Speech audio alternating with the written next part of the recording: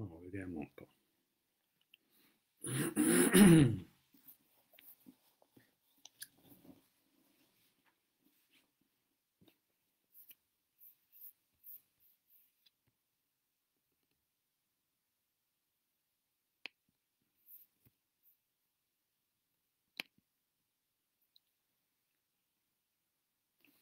Allora.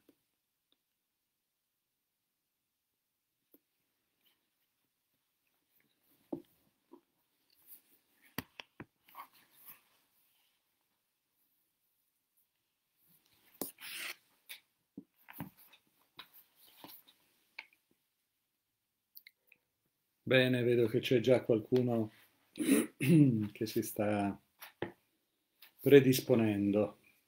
Stiamo per iniziare, eh? abbiate pazienza ancora qualche momento, arrivo sono subito da voi.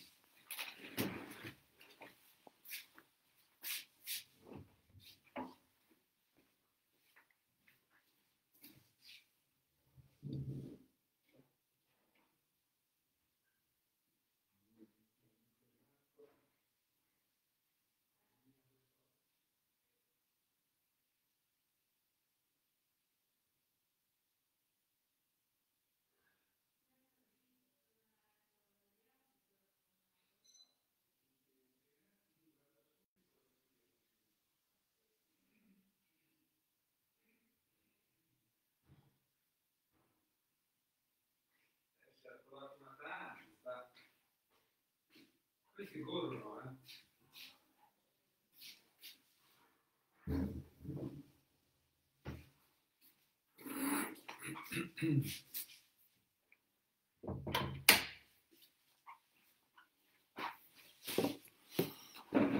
Eccomi qua da voi.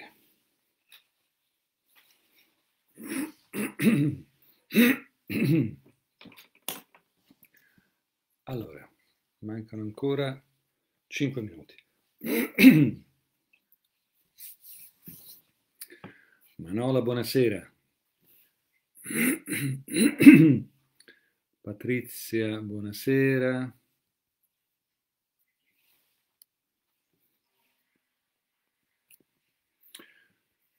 Poi c'è Antonio, Adriano, Federica, Nicola, il nostro Nicola.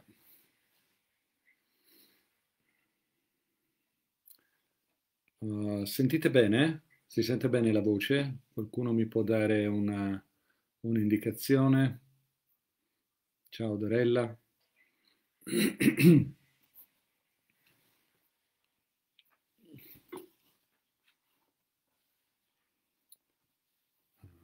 Caterina.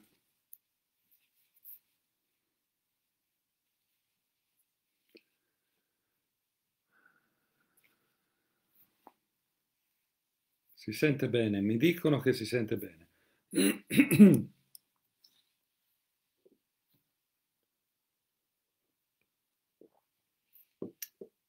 Ottimo.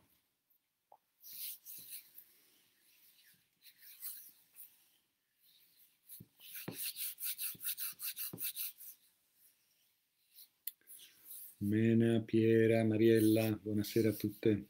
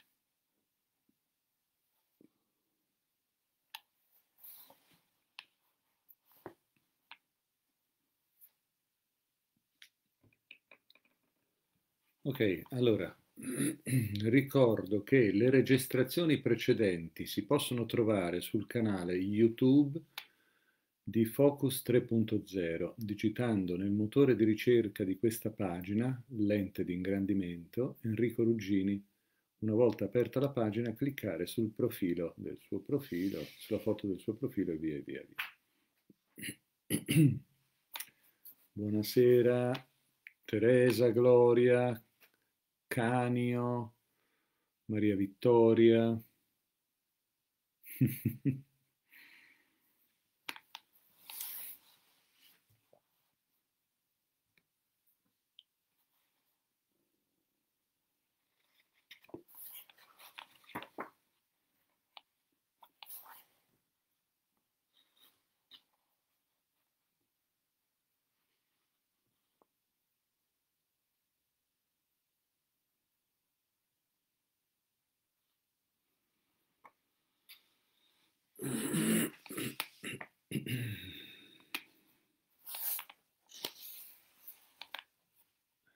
Ciao Teresa, Katie, Cecilia.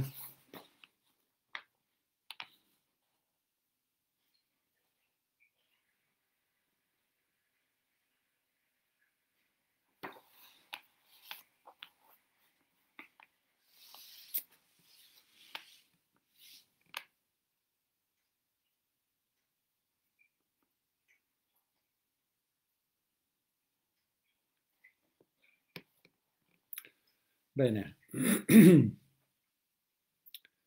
direi che, che, ci siamo, cominciamo ad essere un po' numerosi. Tutto ok, buona live, mi dice Anna, Maria, Anna Tamburini Torre, grazie dell'ospitalità nella Lux, nell'Università della Conoscenza, pensata, creata, diretta, organizzata da Anna Tamburini Torre.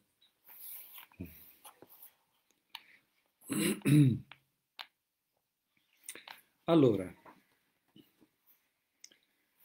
stiamo leggendo, ciao, ciao Daniela, ciao Silvana, Stefano, stiamo leggendo, adesso cominceremo a leggere, dal libro Dai mondi invisibili del Cerchio Firenze 77. E siamo un pezzettino avanti e stiamo per entrare dentro un tema cruciale che verrà poi ripreso nel prossimo uh, volume che prenderemo in mano. Noi eh, ci stiamo dedicando in particolare alla parte dell'insegnamento filosofico del Cerchio Firenze 77, cercando in qualche modo di,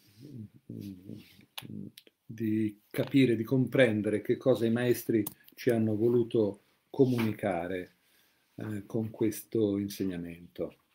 E naturalmente stiamo facendo un lavoro, eh, ci stiamo soffermando su alcuni brani, alcuni concetti che sono un pochino, eh, come dire, non sono complicati veramente, ma sono eh, strani. La nostra mente fa fatica ad accoglierli perché vanno un po' contro il senso comune che normalmente accompagna il nostro modo di ragionare.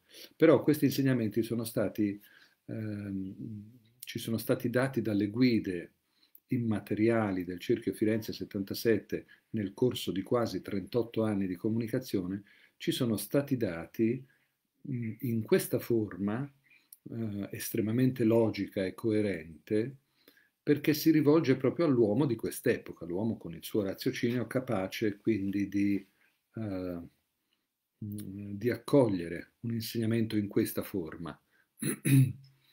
Ciao Mary, Guglielmo, Patrizia, Bianca. La, la prima cosa che leggeremo, è, che io leggerò per voi, è un paragrafetto che si trova a pagina 206, dopodiché eh, salteremo eh, gli schemi che si trovano eh, a pagina 208 e 209 che ognuno trova dentro il suo libro se vuole avere così una, dire, una specie di, eh, di schema di riferimento delle cose di cui abbiamo parlato precedentemente. E andremo direttamente, inizieremo la nostra lettura di questa sera da pagina 212, iniziando un tema veramente complesso, è un tema che ha accompagnato l'insegnamento del Cerchio Firenze 77 praticamente nella totalità del, del, del suo sviluppo, del, delle lezioni. Eh, fanno tutte quante riferimento a questo tema e, e, tutte quante riconducono sempre a questo tema, il tema dell'assoluto. L'assoluto è una, un sinonimo per le guide immateriali, è un sinonimo di Dio. Dio assoluto, Dio uno assoluto, l'assoluto. Um, più, più, si va avanti e più lo chiameremo sempre comunque l'assoluto. E c'è un motivo per cui eh, lo chiamiamo in questo modo. Prima di immergersi nella lettura che inizia a pagina 212, vi devo dire che quello che stiamo andando ad affrontare è il tema dei temi, è proprio un tema imponente, è un tema per il quale eh, con queste prime lezioni sull'assoluto si cominciano a gettare le basi, proprio eh, i, i, primi concetti, che siccome si distaccano un po' dal nostro modo di ragionare normalmente, eh, si fa anche un po', si può fare un po' di fatica ad accoglierli. Vi suggerisco di non fare resistenza per il momento, ma di lasciarvi semplicemente trasportare dal, dal fiume che va verso il mare la nostra meta è il mare, l'oceano, l'oceano che è un altro, un altro simbolo dell'assoluto. Verso questo oceano di comprensione al quale giungeremo tranquillamente semplicemente affidandosi a questa corrente eh, benefica, morbida, eh, tranquilla che ci porta, ci, ci offre una, una navigazione piacevole. Le cose che leggeremo non sono facilissime, nel senso che um, Kempis, che è uh, la, la, guida che più di tutte si è soffermata su questo argomento, utilizza una logica estremamente uh, stringente. Sono tutti passaggi logici, molto uh, precisi, per cui seguendo la logica e affidandosi alla logica è come un filo di Arianna, dentro questo studio la logica. Affidandosi a questa logica noi riusciremo a venire a capo di questi concetti che sono eh, per alcuni eh, possono essere un pochino più difficili all'inizio, ma solo perché siamo all'inizio. Poi ci si abitua a stare dentro questa, questa corrente eh, razionale, limpida, acuta di Kempis e piano piano eh, sentiamo che diventeremo padroni di questa materia.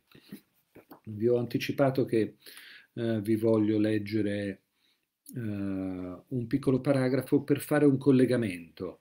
Le ultime cose di cui abbiamo parlato eh, la volta scorsa riguardavano il tempo e lo spazio, come ricorderete eh, questo paragrafo dice nel tempo, cioè il tempo, il tempo non esiste laddove è l'eterno presente, cioè in Dio. Ci sta dicendo che il modo di esistere di Dio è l'eterno presente. L'eterno presente è una condizione di non tempo, non è un tempo che non finisce mai, che dura all'infinito, è proprio un non tempo. Um, allora, dice il maestro, tutto è presente. Ogni incarnazione è presente. Tutto quanto è presente, ogni incarnazione. Ogni istante è come fotografato in lui. Ogni istante di ognuno di noi, di ognuna delle nostre vite, di questa e di tutte le altre vite. La vita è composta di innumerevoli attimi. Ognuno di questi attimi è presente in lui contemporaneamente e separatamente, cioè distinti all'interno di Dio e presenti in lui contemporaneamente, tutti quanti. Non si sta parlando di qualche cosa che è come fissato in una sorta di immobilità senza vita. Gli attimi, esattamente eh, pieni di vita, pulsanti come noi li sentiamo mentre li viviamo, questi attimi tutti quelli passati, tutti quelli futuri, sono tutti contemporaneamente presenti in Dio, in una condizione di eterno presente, che vuol dire una condizione dove non c'è il tempo. È una cosa abbastanza uh, insolita da proporre alla nostra mente che è abituata invece ad essere immersa nel tempo. Ma come abbiamo visto la volta scorsa, il tempo eh, in, in realtà è un'emanazione dello spazio, è una dimensione dello spazio, la quarta dimensione, il tempo, ci dice anche la nostra scienza. E qui si entra dentro aspetti della fisica che non sono congeniali a tutti, non tutti hanno fatto studi di un certo tipo, per cui può essere un po' più difficile capire che cosa ci dicono gli scienziati quando abbandonano l'idea ehm, or- ormai eh, vetusta dell'esistenza di un tempo nel quale noi saremmo immersi. No? Questo ormai è stato abbandonato da tempo, una visione del 1600 che poi è stata superata e spiegata molto meglio da Einstein in poi ci sono anche le dimostrazioni matematiche di questo fatto. Ma andiamo oltre, non ci distraiamo con questi discorsi perché entriamo dentro qualche cosa che è ben più ponderoso di questo per cui se vi siete un pochino ehm, eh, trovati in difficoltà con questo concetto di eterno presente di tempo che non esiste,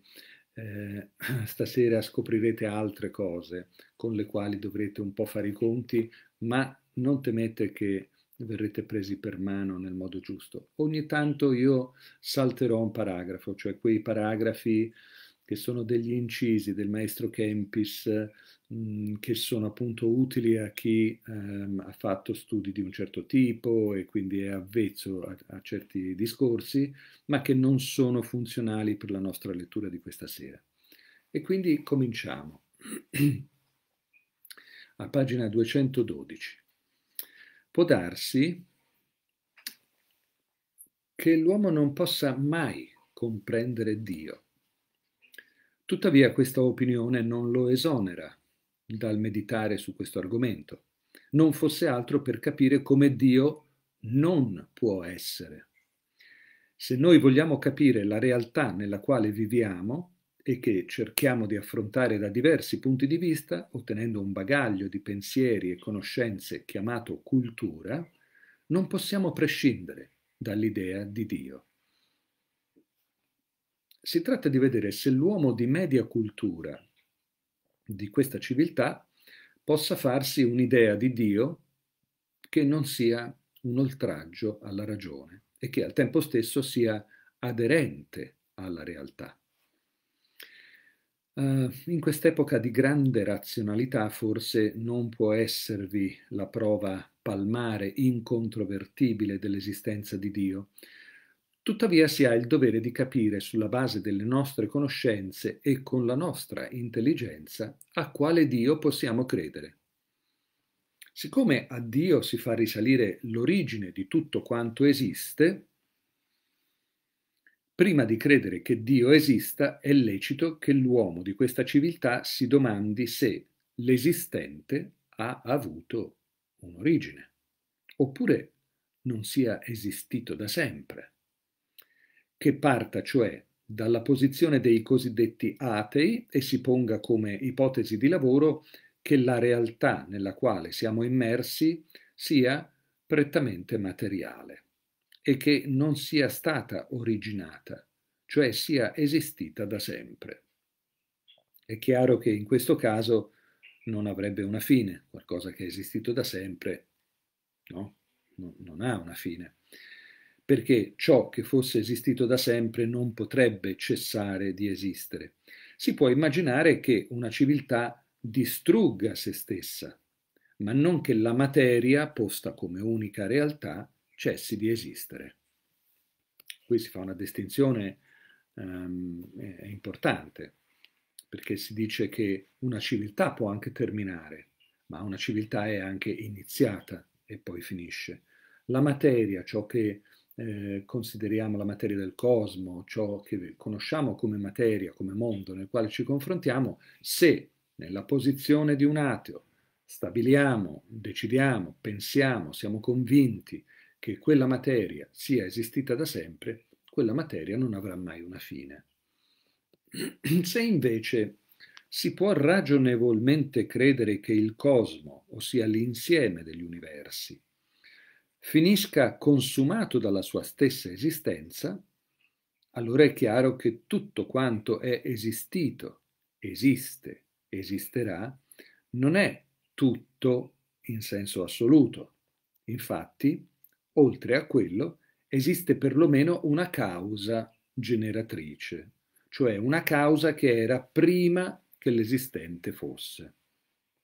Qui si dice un'altra cosa che è ovvia ma sulla quale non si riflette abbastanza, cioè che tutto ciò che finisce deve essere iniziato. Ma se è iniziato c'è qualche cosa che l'ha fatto iniziare, cioè c'è qualche cosa che sta a monte di questo inizio. Qualsiasi forma o idea si possa avere su di questo, su di questo tutto quello che finisce ha avuto un inizio. La vita di un uomo finisce perché a un certo punto ha avuto un inizio. Uh, l'inizio è una, eh, sono due, due persone che si accoppiano e che generano una vita. e via, e via, e via. Cioè tutto ciò che ha una fine ha un inizio. Si sa che le osservazioni sistematiche degli astronomi moderni hanno portato alla constatazione che noi viviamo in un cosmo in espansione. Qui chi ha un minimo di, di, di, di conoscenza di, fisica astronomica sa che gli studi ci propongono questo, cioè che gli universi si stanno espandendo, cioè che gli universi si allontanano gli uni dagli altri e da un centro dello spazio un centro ideale, ovviamente. Un centro ideale nel senso che è un'idea di centro, perché non sappiamo dove potrebbe essere questo centro dello spazio. Vediamo però che c'è questo movimento di eh, allontanamento, di allargamento degli universi. Sulla base di questi dati di fatto incontrovertibili sono nate due principali ipotesi per spiegare l'origine e lo sviluppo del moto di traslazione degli universi. Moto di traslazione è proprio questo allargarsi degli universi. Entrambe le ipotesi concordano sull'origine, che sarebbe la conseguenza di un'esplosione avvenuta in questo punto ideale, questo centro ideale del cosmo, in questo centro ideale del cosmo e questa esplosione è quella di cui tutti quanti abbiamo sentito parlare, che è il Big Bang, il famoso Big Bang da cui questi universi si sarebbero generati per questa esplosione. Allora, eh, sulla base dei dati sono nate due ipotesi per spiegare l'origine e lo sviluppo del moto ed entrambi queste ipotesi concordano sulla esplosione, ma divergono invece sullo sviluppo dopo l'esplosione. Infatti, secondo la prima ipotesi, la materia che compone i corpi stellari, quando questi hanno raggiunto una velocità critica di allontanamento da questo centro, cioè c'è l'esplosione, boom, partono i corpi stellari che sono composti di una certa materia e quando hanno raggiunto una velocità definita critica, cioè quella determinata velocità, a un certo punto, questa velocità di allontanamento, si smaterializzerebbero e si causerebbe così la graduale ma totale fine del cosmo astronomico. Quindi questi astri, questa, questa materia lanciata da questa esplosione raggiunge a un certo punto una tale velocità critica che scompare, si smaterializza e a forza di allontanarsi tutta la materia da questo centro del cosmo, alla fine il cosmo scomparirebbe.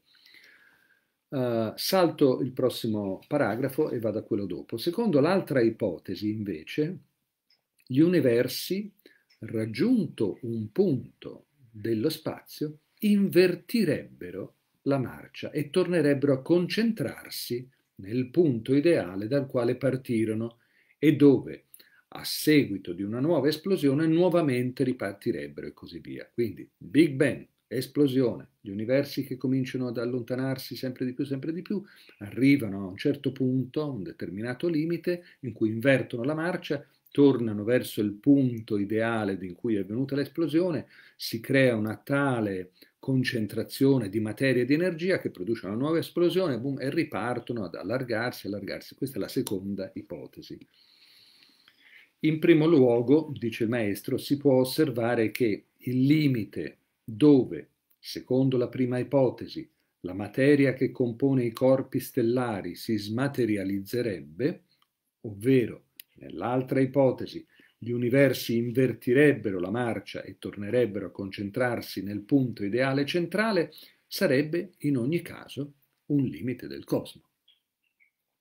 Anche se lo spazio fosse di tipo euclideo, cioè infinito e indipendente dalla materia. Ora, a parte queste ultime due righe che ci possono un pochino confondere, ma si dice questo, sia nella prima ipotesi che nella seconda, si arriva a un certo punto nell'espansione del cosmo che o si smaterializza la materia oppure la materia torna a concentrarsi verso il centro ideale, quindi si incontra un limite. Dunque, secondo l'una e l'altra ipotesi, il cosmo sarebbe limitato e necessariamente di forma sferoidale. Perché? Perché sono, questa esplosione ha generato in tutte le direzioni, è come quando si butta un sasso dentro uno stagno, si formano cerchi sempre più larghi nell'acqua che si allontanano dal punto in cui abbiamo buttato il sasso, che è il nostro centro ideale. No? Per cui a un certo punto questi, eh, qui, eh, qui, è, è, un pochino come la prima ipotesi, no? questi cerchi a un certo punto diventano sempre più flebili a un certo punto scompaiono, e scompaiono nell'acqua e, e, torna tutto piatto. C'è stata la smaterializzazione dei cerchi d'acqua che si sono formati con il sasso buttato dentro. Nell'altra ipotesi invece i cerchi tornano verso il punto in cui abbiamo buttato il sasso. In un caso o nell'altro si arriva a un punto che è il limite. E questo ci dice che il cosmo è limitato, che c'è un limite del cosmo. Ora, ciò che è limitato non può avere una durata illimitata. E questo ci dovrebbe bastare per concludere che se il cosmo finisce nell'una come nell'altra ipotesi, è chiaro che ha avuto un'origine e quindi una causa. Ma è preferibile invece proseguire nell'esame delle due ipotesi per vedere se ci conducono a una diversa conclusione. Però è importante questo punto, eh? noi lo ritroveremo e dobbiamo proprio rifletterci su questo. Il cosmo è limitato, ciò che è limitato finisce. Tutto ciò che finisce è iniziato. Se è iniziato c'è qualche cosa che ha determinato questo inizio, cioè c'è una causa prima del cosmo. Ora Kempis approfondisce. Dice Kempis, seguendo una rigorosa posizione ateistica, eh, si dovrebbe evidentemente prendere in considerazione solo la seconda ipotesi. No? La seconda ipotesi è quella della, della, materia del cosmo che va verso l'esterno, raggiunge un limite, torna a concentrarsi verso il punto di partenza, torna di nuovo a esplodere, si riallarga e poi ritorna su e giù, su e giù. Questa è la seconda ipotesi. No? Gli atei dovrebbero prendere questa in considerazione, cioè dovrebbero dire non c'è una causa eh, prima di qualche cosa, ma c'è solo questo andi rivieni della materia. Infatti dice se si ammette la prima, la prima ipotesi, si ammette la fine del cosmo e quindi l'inizio e quindi la causa. Se si ammette la causa siamo già eh, in un'area di divino, cioè c'è qualche cosa che ha determinato eh, l'inizio del cosmo. Si deve invece vedere se è possibile ragionevolmente credere che il cosmo sia una sorta di perenne pulsazione, questo allargarsi e poi riconcentrarsi, allargarsi e riconcentrarsi, un moto perpetuo di questi corpi celesti, oppure una trasformazione continua della materia che lo compone. Il nulla si crea, nulla si distrugge, tutto si trasforma sembrerebbe confermare questa ipotesi. Il principio della conservazione della massa, dichiarato universalmente valido dalla meccanica classica, e il principio di conservazione dell'energia, visto che si è scoperta la relazione che lega la massa all'energia, sono stati invece smentiti in modo decisivo dalla scoperta dell'energia atomica. Non solo, ma anche più recentemente dall'esame di certi fenomeni che avvengono nello spazio intergalattico. Quindi la nostra scienza ha già escluso alcune affermazioni della vecchia scienza. Ora la cultura non specialistica dell'uomo medio di questa civiltà non gli consente di addentrarsi con osservazioni scientifiche nell'esame di eventi cosmici, ma egli può tuttavia capire dai fatti con cui si scontra tutti i giorni un principio molto importante, e cioè che per fare un lavoro ci vuole energia e che nessuna macchina e nessun sistema produrrà mai più energia di quanta ne consumi nessuna macchina è in grado di produrre un'energia eh, superiore a quella che essa stessa consuma. Ora ci sono oggi dei motori eh, meravigliosi, gli, le, le, macchine ibride, che si ricaricano con il motore che gira. Eh, c'è una modalità tale per cui viene ricaricata una batteria proprio dal motore che sta andando, ma non viene prodotta più energia di quella che serve alla macchina, perché è un bilanciamento tra ciò che consuma e l'energia che ho a disposizione. Altrimenti il moto perpetuo non sarebbe un assurdo meccanico. Voi sapete che il moto perpetuo non può esistere, questo la scienza ce l'ha descritto in, in, in modo vario. Salto questo paragrafo per andare a quello, l'ultimo della pagina, in cui si dice lo spazio esistente sembra più simile a quello postulato dalla teoria della relatività generale che nega l'esistenza di uno spazio vuoto, infinito, indeformabile, immutabile, che nega che il tempo e lo spazio siano assoluti e oggettivi e pone che lo spazio sia una sorta di emanazione della materia e che il tempo sia la quarta dimensione dello spazio, tanto che le scoperte scientifiche che vi via si registrano sembrano confermare questa teoria. Difatti, alle leggi della meccanica classica la scienza umana non dà più valore assoluto, ma semplicemente un valore di prima approssimazione. Le leggi della meccanica classica sono quelle che sono state utilizzate dagli studiosi fino alla fine dell'Ottocento, eh, sono state utilizzate per descrivere il mondo, la realtà nella quale viviamo ma sono leggi che hanno a che fare, che hanno cercato di spiegare la nostra esperienza, il senso comune del nostro vivere. Noi abbiamo la sensazione di un tempo che esista oggettivamente. Questo era il tempo di Newton, il tempo descritto nel 1600 da Newton. Eh, sappiamo, sappiamo, che non è così. La scienza, anche se per noi è difficile cogliere questa, questa differenza, ma la scienza ci ha spiegato molto bene che le cose non stanno in questo modo. Non esiste un tempo oggettivo. Un tempo è, il tempo è uno, eh, un effetto introdotto dai fenomeni, introdotto dalla vita degli esseri, il quale introducono il tempo e lo vivono come se fosse esterno a sé, come se fossero immersi in questo tempo. Dunque, dice Kempis, si può ragionevolmente pensare che se il moto di va e vieni dal centro alla periferia dei sistemi stellari si ripetesse indefinitamente, l'energia necessaria a questo moto, per questo prima parlava dell'energia delle macchine che non producono mai più energia di quella che consumano, no? l'energia necessaria a questo modo, ancorché si rigenerasse in qualche modo, eh, magari a spese della massa della materia, cioè si consuma la materia, per produrre energia e quindi il moto continua, non si rigenererebbe mai in misura totale, per cui a lungo andare sarebbe la stasi, cioè la macchina del cosmo, piano piano, non avendo più energia, si fermerebbe. Eh, cesserebbe il moto del cosmo. Che poi questa stasi riguardi il divenire della materia o la materia in se stessa, per l'aspetto che ci si è posti del problema non fa alcuna differenza, perché in conclusione se il divenire cessa vuol dire che ha avuto un inizio ed una causa. e questo ci basta. Torniamo sempre lì. A un certo punto, se una cosa si ferma, finisce, vuol dire che è qualcosa di finito. Se si ferma, vuol dire che è iniziato. Se è iniziato, c'è qualcosa che l'ha fatto iniziare, cioè c'è una causa.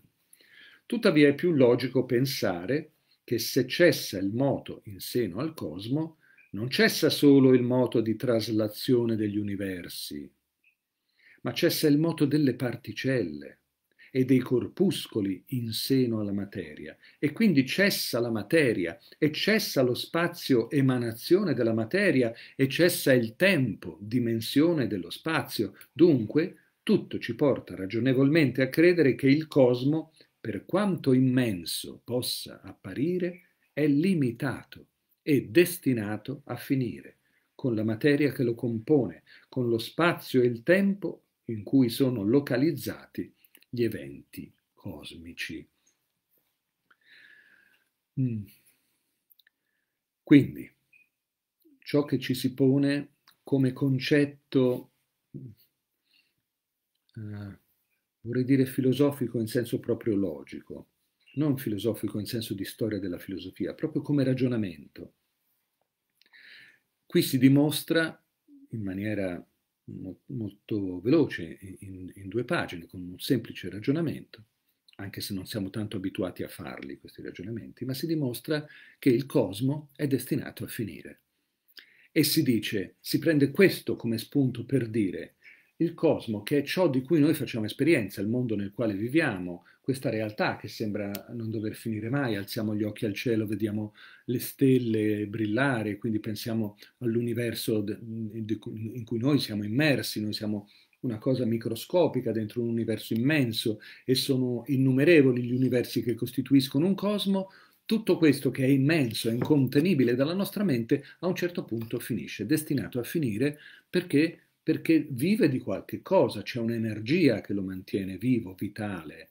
Questa energia a poco a poco non può essere costantemente riprodotta e quindi a poco a poco dalla eh, più piccola cosa, dai corpuscoli, le particelle che costituiscono la materia, i nostri corpi, e financo a tutti gli eventi che avvengono, tutto ciò in cui si spende energia, anche parlare davanti a un microfono come adesso è utilizzare dell'energia che poi a un certo punto finisce, no?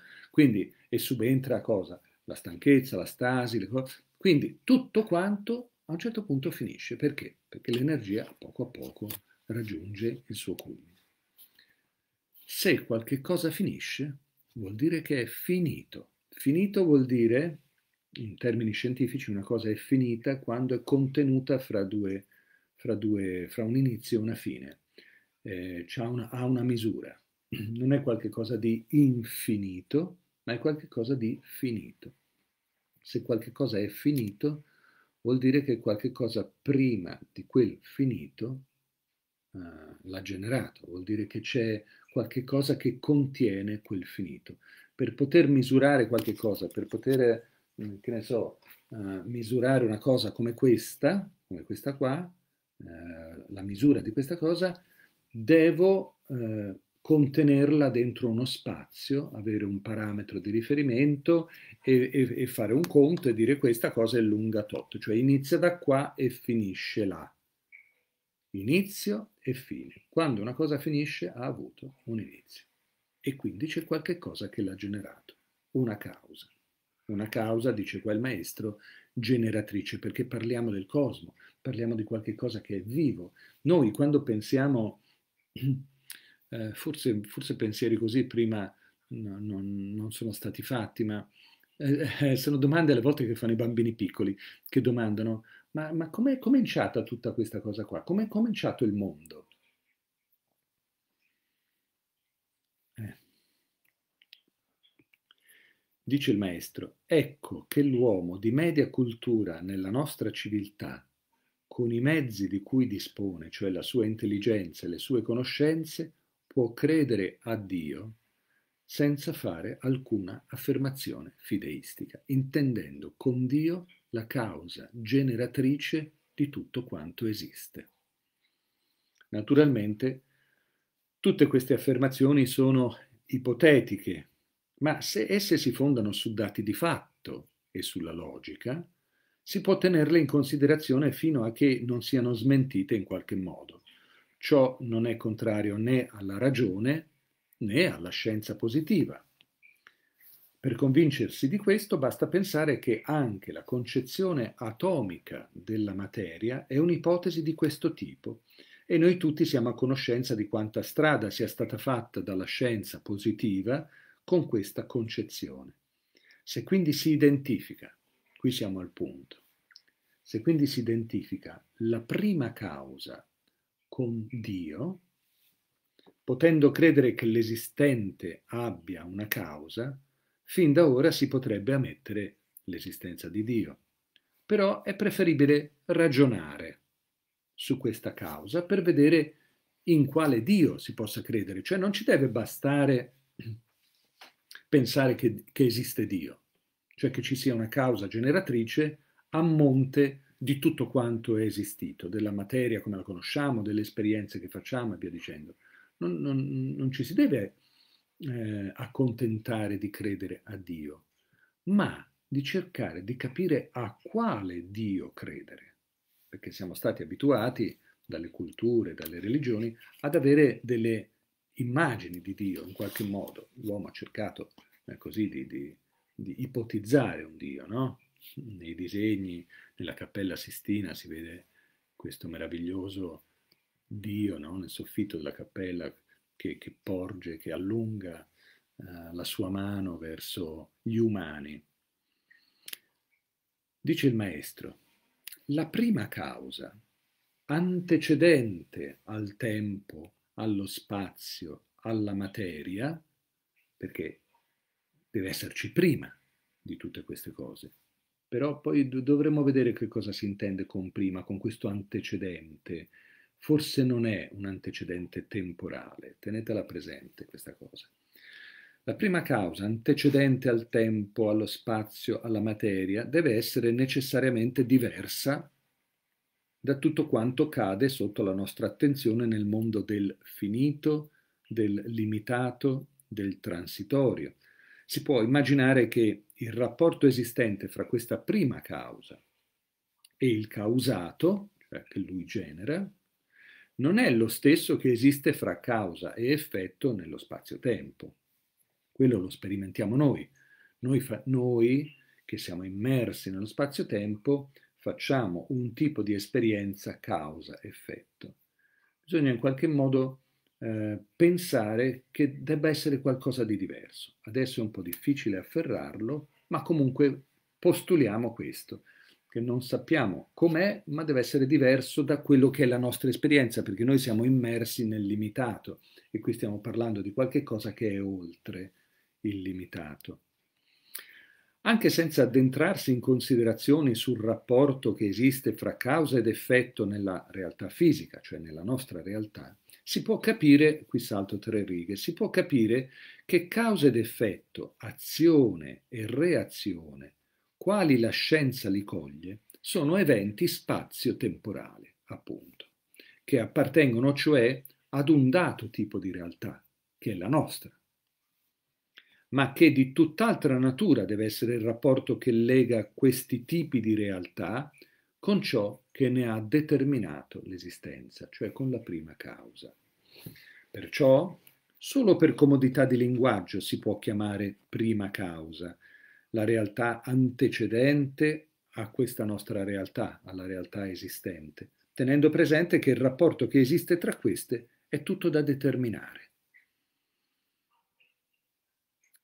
Uh, la causa del tutto, cioè la, tra virgolette, prima causa, deve essere indipendente da tutto, deve essere la prima causa increata, altrimenti si dovrebbe spostare l'esame fino a trovare la causa esistita da sempre.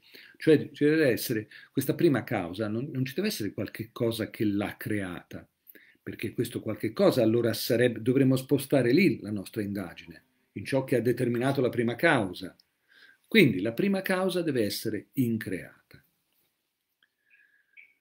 Uh, poiché siamo al di fuori del tempo e dello spazio, è opportuna una precisazione, cioè sostituire l'avverbio di tempo sempre con un vocabolo più adatto, eternamente.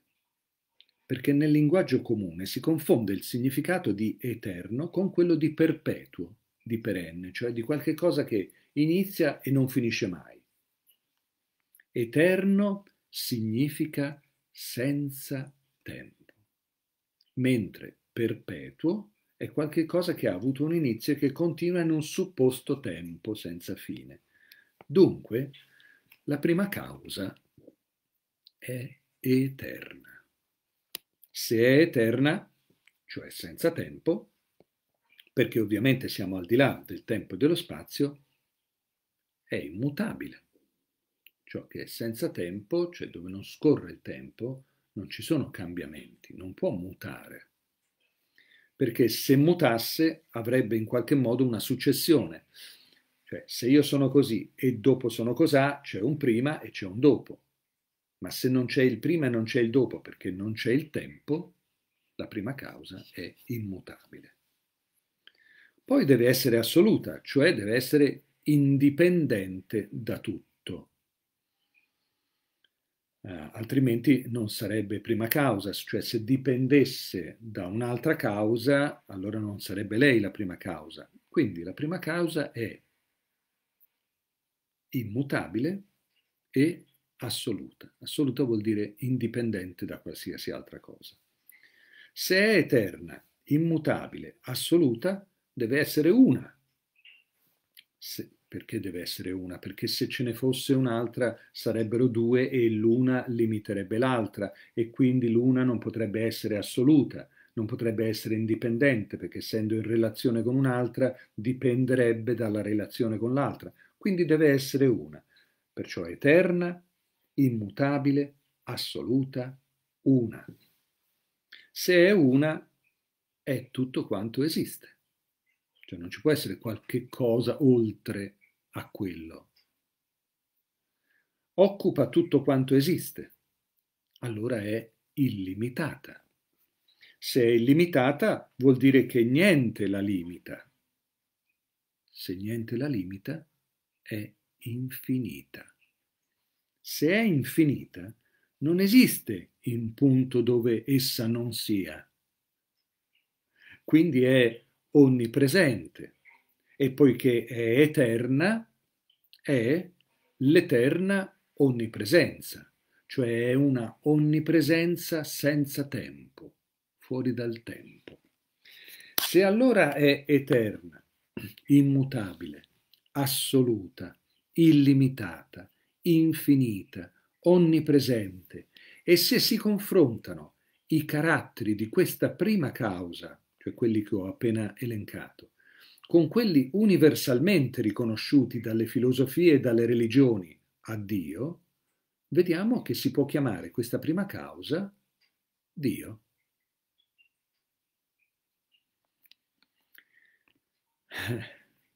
Eh, voi pensate che questa cosa che noi stiamo adesso leggendo così, che potremmo leggere, rileggere, rileggere ancora, è, stato, è un discorso che è stato pronunciato durante una seduta del Cerchio Firenze 76 molti anni fa, tanti, tanti anni fa, da Kempis, esattamente come lo stiamo leggendo, con una perfezione, una logica, una conseguenzialità, è straordinario, è straordinario quello che stiamo leggendo. Dice Kempis, se è onnipresente, essendo onnipresente, cioè presente dovunque, è a contatto col tutto. Niente quindi può esserle ignoto, perché è presente dovunque. Allora è onnisciente. Osservando poi con quanto ordine e intelligenza si svolge la vita naturale del creato, è impossibile non ammettere che altrettanto ordine, equilibrio, intelligente non siano in ciò che ne è stato la causa. E proprio il generato ci conduce a fare un'altra considerazione, e cioè che non si può pensare che tutto quanto esiste sia stato tratto dal nulla, ma piuttosto che Dio l'abbia tratto da se stesso, cioè che sia stato emanato. Questa è la differenza tra creazione ed emanazione. Cioè la creazione è dal nulla, no? c'è una religione che dice questo, Dio dal nulla creò tutte le cose, dal nulla. Invece qui si dice che essendo egli onnisciente, onnipresente, ehm, infinito, illimitato, assoluto, immutabile e via dicendo, ed essendo tutto quanto esiste, non ci può essere un nulla che si aggiunge a, a questo tutto, a questo Dio, dal quale lui poi crea le cose, ma avviene un'emanazione da sé in sé. Non solo, ma non si può pensare all'emanato come a qualcosa di staccato da Dio, che viva autonomamente senza, se si facesse questo, negare a Dio il suo carattere assoluto, cioè è assoluto proprio perché tutto quanto è in lui, quindi non ci può essere qualcosa di staccato da lui. Perciò l'emanato deve rimanere in Dio e non si può quindi pensare a Dio e alla sua creazione come a due momenti diversi, L'emanazione non solo deve restare in Dio, ma deve esservi sempre stata. Ma deve esservi sempre stata. E qui torniamo a quel paragrafetto che io vi ho letto all'inizio di questa nostra lettura di questa sera, quel paragrafo in cui si diceva che ogni qualsiasi cosa, ogni attimo della nostra vita e di tutte le incarnazioni e di tutti i momenti del cosmo, di qualsiasi cosa sia esistito, è, sono tutti quanti come fotografati in Dio, in Dio, in Lui viventi da sempre per sempre in una condizione di eterno presente, cioè fuori dal tempo. L'emanato non solo deve restare in Dio, ma deve esservi sempre stato. Se allora, dice il maestro, causa e causato sono una unica realtà, inizio e fine, riscontrabili nell'esistente, non sono eventi oggettivi, sono illusioni, apparenze. E qui il discorso si fa impegnativo, perché dobbiamo cominciare a pensare che noi viviamo come qualcosa di assolutamente reale e così deve essere per permetterci di viverlo realmente, qualche cosa che ha delle caratteristiche diverse da quelle che noi eh, siamo convinti che abbia. Quando noi percepiamo, quanto noi percepiamo non è la realtà, è una apparenza di essa. Nella cultura indiana, in India, eh, questa è una cosa che nella loro religione si, de- si descrive, che c'è qualche cosa nella quale noi siamo immersi, che è una forma di illusione, una sorta di apparenza, considerata assolutamente reale. Sono congetture che la nostra mente costruisce su informazioni che le pervengono dai sensi. Questa apparenza sono congetture che la nostra mente costruisce su informazioni che le pervengono dai sensi, ma non è la realtà di ciò che è. La realtà è ciò che è appunto, e non ciò che i nostri sensi ci fanno ritenere che sia. Qui si sta sollevando un velo gigantesco su quella che è effettivamente la realtà nella quale ci muoviamo. Stiamo piano piano entrando in contatto con, con lo svelamento di alcuni eh, segreti immensi che ci spiegano il funzionamento di questa nostra vita così come è fatta. Certo, deve esservi un modo comprensibile che concilia questi due aspetti del problema. Ed è proprio da questa spiegazione che, dobbiamo, che debbono scaturire i valori antropologici, non il contrario. Errato sarebbe da valori umani immaginare la realtà di Dio e su quelli creare un'etica, ma proprio questo errore è stato fatto. Cioè partendo da ciò che i nostri sensi ci fanno ritenere realtà, gli uomini hanno tratto tutte quelle concezioni del divino che ne fanno un essere antropomorfico, se non nell'aspetto, perlomeno nel comportamento, a parte che alcune religioni sostengono che l'uomo è crea- creato a immagine e somiglianza di Dio, con questo dicendo che Dio è uguale all'uomo, è fatto come l'uomo, magari un po' più grosso, un po' più grande, seduto su una nuvola. Invece ci pare più proprio pensare che egli sia la causa di tutto, come è stato postulato deducendo che causa e causato debbono essere un'unica realtà. Quindi pensate, neanche noi come causato separati, divisi da Dio, ma noi e noi causato, i mondi, i cosmi causati, e noi dentro, causato, e la causa sono la stessa realtà, due aspetti della stessa realtà. Se ci soffermiamo sul concetto dell'unica realtà, tenete duro ancora un pochino, eh? abbiate pazienza. Cerchiamo di capire che cosa esiste oltre quest'unica realtà. La nostra mente, abituata a ragionare in un certo modo, ci fa rispondere automaticamente il nulla. Ma in effetti la domanda non ha senso, perché esula dal postulato che la realtà sia unica. Se è unica, non ci può essere niente oltre quella realtà, neanche un nulla. Uh, e se Dio è l'unica realtà esistente, è necessariamente illimitato e infinito e per la stessa ragione egli è indivisibile. Questo è un punto importante eh, per noi, perché ci colloca in Lui. Se infatti si dividesse realmente, non sarebbe più illimitato, perché verrebbe limitato dalla sua stessa creazione. Cioè se questo emanato fosse una creazione che crea qualche cosa di esterno a lui, poi ci sarebbe la sua creazione e Dio. Sarebbero due cose separate e Dio non avrebbe in sé la sua creazione. Cioè esisterebbe Dio ed esisterebbe la sua creazione che in qualche modo lo definirebbe, lo delimiterebbe. Ma essendo illimitato, questo non può essere. Ogni realtà, in effetti, fa parte di una sola realtà, Dio.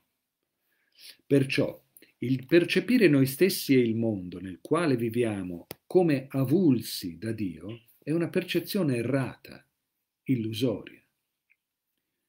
È anche bello il fatto che eh, tantissimi religiosi eh, si sono volendo unirsi a Dio, cercandolo in ogni dove, eh, cercando, facendo questa ricerca per tutta la vita, hanno cercato di raggiungerlo senza sapere che erano già in lui, una sua emanazione. Ma anche nel gioco di questa illusione, ogni parte risultante da un reale frazionamento di, di Dio non può che essere limitata e finita e se egli è l'assoluto, assolutamente indivisibile, ogni sua parte risultante da un virtuale, virtuale, non reale, virtuale frazionamento, non può che essere il relativo, relativamente divisibile.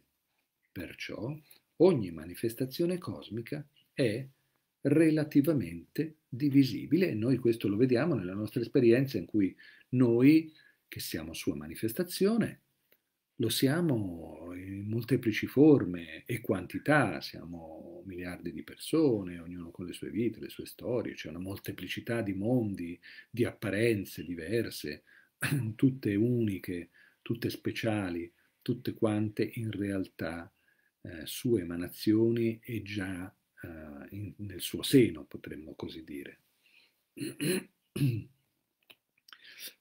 Eh, ciò è vero per il tempo, lo spazio, la materia, gli esseri della manifestazione.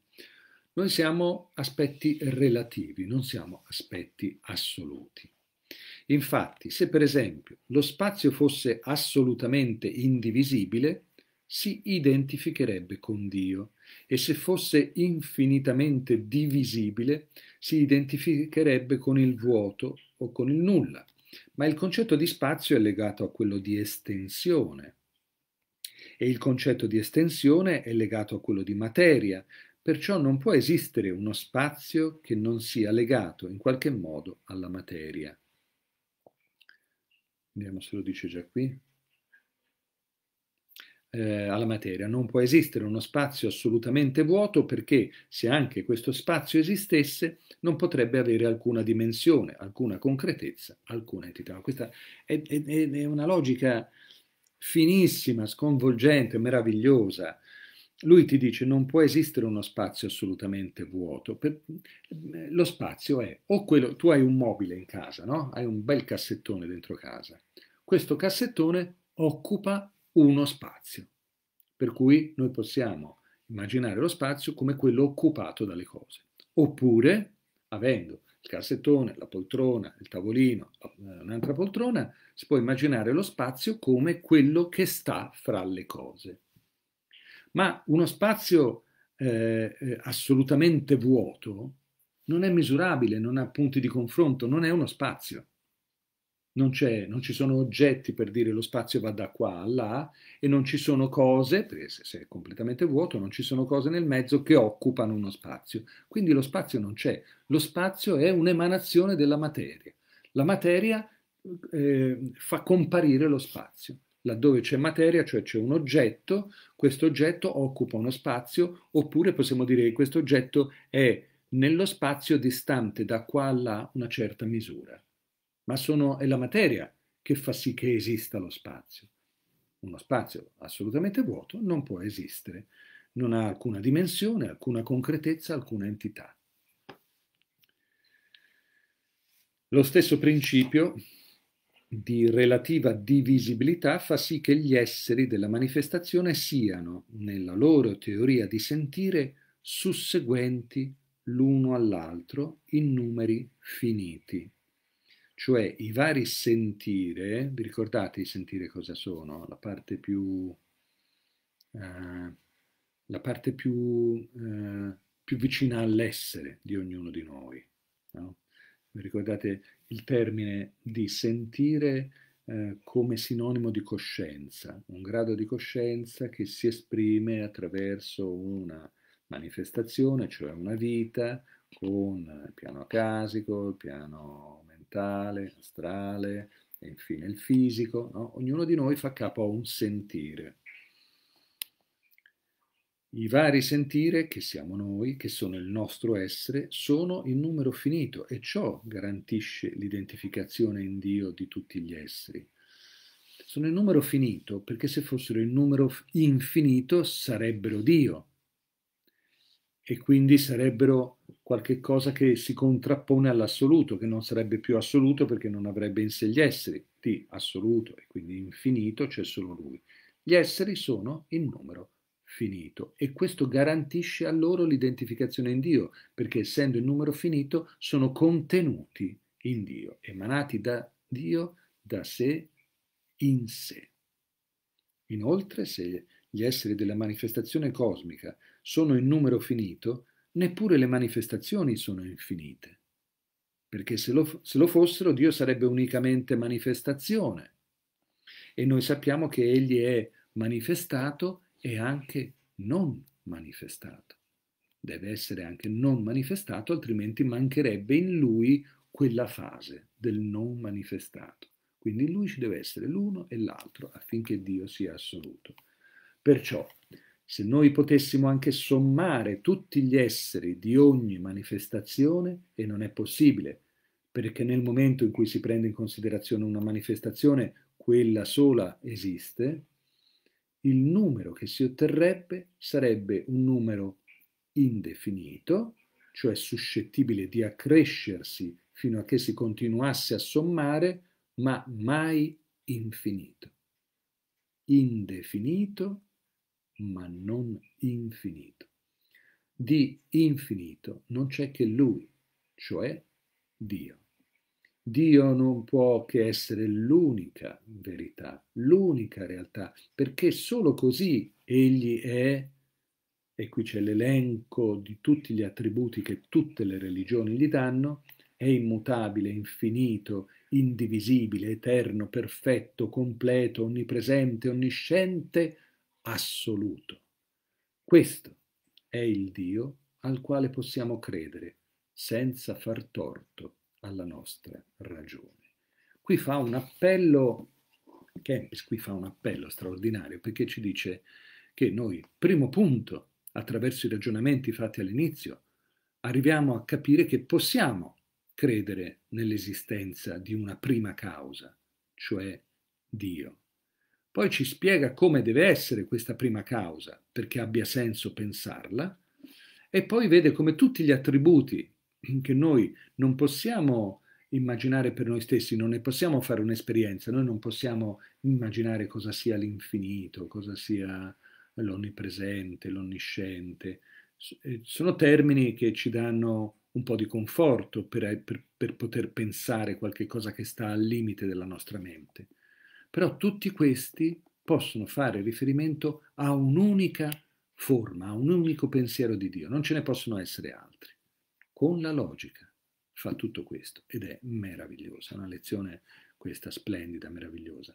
Noi, adesso io qui mi fermo, voglio vedere se c'è qualche cosa eh, che se c'è stata qualche domanda, perché ho visto che avete scritto delle cose belle, vedo tanto entusiasmo, eh, ma la cosa che eh, eh, intanto vi dico che ci fermiamo qui con la lettura perché la, la, la, prossima parte che leggeremo la prossima volta va letta tutta di seguito ed è una cosa meravigliosa perché è una comunicazione di tante voci. Io non so, mi, mi piacerebbe riuscire, cercherò di ragionarci sopra se è possibile farlo, di farvela sentire detta da loro, perché è una cosa splendida. Tante voci che si susseguono descrivendo Dio. Dopodiché ci potremmo soffermare eh, sui vari punti eh, toccati in questa descrizione a tante voci dalle guide che hanno accompagnato la vicenda del Cerchio Firenze 77 per tutti i suoi quasi 38 anni di vita. Eh, però eh, rileggetela, rileggetela bene questa lezione perché è finissima e guardate che ogni punto, non abbiamo potuto soffermarci più di tanto, ma ogni punto che viene toccato in realtà è suscettibile di ancora più approfondimento. Tutta la parte del libro che andremo ancora a leggere andando avanti riguarda questo aspetto, l'aspetto che abbiamo letto stasera, che stasera è stata presentata dalle guide in questi termini.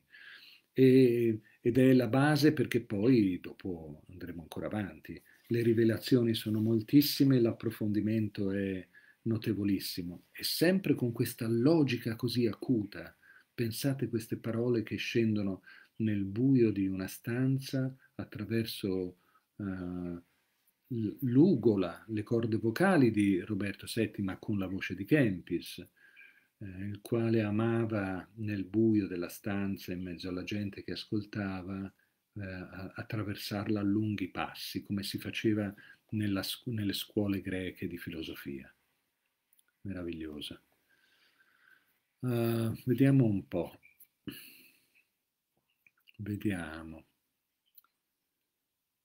Allora, qui c'è Donatella che dice finché sono qui in questo mondo con le, con le, mie pochezze non capirò mai la magnificazione del creato e dei misteri invisibili. Solo avendo una guida spirituale invisibile che mi facesse vedere l'aldilà potrei dire sono nel paradiso. Eh, eh, credo che tu possa eh, cogliere, che, che, noi, non tu, mh, mm, tu come tutti, tutti noi, noi siamo eh, tutti uguali, eh, stiamo facendo un'esperienza che ci limita molto, ma guardate l'acutezza con cui i maestri ci guidano in questa scoperta è talmente, eh, mi, verrebbe dire, una forma di magia della mente che ci permette in qualche modo di cogliere, di intuire, di cogliere, di dare vita a una forma immaginativa che ci permette in qualche modo di avvicinarsi a questa, a questa sorta di sentire. E poi dopo uno finisce per scoprire che il paradiso descritto dalle religioni non è un altrove, chissà dove, ma è un qui, eh, proprio qui dove siamo, e capirne le forme e i significati. Vediamo. Allora, questa è una domanda interessantissima ma se tutti gli atomi sono presenti in Dio, per l'essere umano è già tutto prestabilito? È una domanda alla quale Niki um, avrai, um, troverai soddisfazione al di sopra di ogni immaginazione andando avanti in questo studio. Non voglio anticiparvi cose che per adesso potrebbero creare un po' di confusione. Gettiamo delle buone basi su quello che stiamo facendo e poi andando avanti eh, vedrai che avrai la tua risposta molto soddisfacente. Vabbè, qui un, un sacco di, di, di, di, cose, di saluti, eh, ma guarda il cielo stellato in una bella notte nitida. Ok, dice Nicola, prossima diretta, sì, il 19, venerdì 19 alle ore 15, ricordate chi ci vuole essere alle ore 15 saremo, eh, saremo qui e, e, e, se riesco a farvi sentire qualcosa bene, altrimenti ve lo leggo io e, e porteremo in fondo questo capitolo iniziale sull'assoluto, seguito poi da molti, molti altri punti. Direi che che possiamo chiudere qui questa nostra diretta. Sono stato anche abbastanza nell'orario, così vi mando, eh, vi lascio liberi. E vi ringrazio di essere stati eh, stasera con me e con le parole dei maestri e ci vediamo fra due settimane alle 15, ricordate, venerdì 19 ore 15. Si riparte da pagina 219 del libro dai mondi invisibili. Buonanotte a tutti, un caro saluto.